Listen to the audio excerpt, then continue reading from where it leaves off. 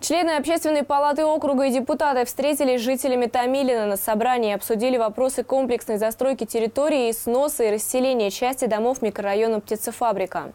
Как вы сами понимаете, рабочая группа создана не для того, чтобы, так сказать, взять и поставить галочку в том, что, значит, а, занимайтесь завтра строительством, застройщику или прочее, а в то же время, чтобы интересы жителей поселка были всесторонние, охвачены. На данный момент жители микрорайона разделились на тех, кто против застройки и переезда в другие дома, и тех, кто за получение другой жилплощади. В основном это связано с плохими жилищными условиями и ветхим состоянием домов. И люди, большинство здесь хотят улучшить свои. Да, Но да. фабрика совсем неплохое место. И квартиры здесь, она ошиблась. В основном 42-43 метра Да, лучше. да. И люди не хотят э, получать по 40 метров. Расселению подлежат две категории граждан – с приватизированным жильем, то есть находящимся в частной собственности, и муниципальным. При расселении последнего учитываются все нюансы – количество комнат, квадратных метров, количество детей, их возраст и так далее. В отношении приватизированных квартир также есть свои особенности по части законодательства. Что касается квартир, которые находятся в приватизации. Первое. Есть ограничение для нас, что мы не можем вам предоставить квартиру меньше. Это 100%. Соответственно, второй момент. Вы должны понимать, что мы не можем спроектировать Сколько вы сказали у вас?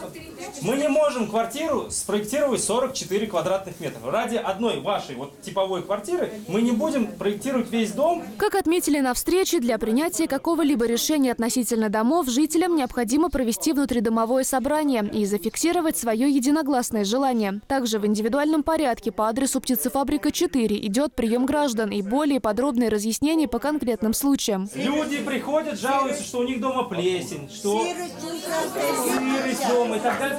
Мы строим в первую очередь. Не сносим ничего вообще. Ни единой палатки, ничего. Просто строим.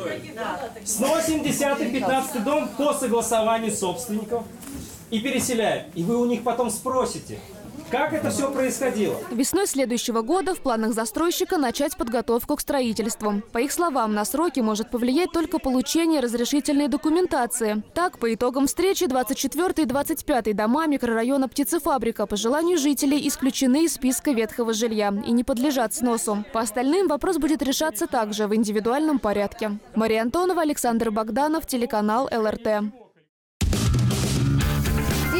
Привет! Я Анна Троян, вы смотрите ЛРТ. Подписывайтесь на наш канал на Ютубе и ставьте лайки. Будьте в курсе самых важных событий.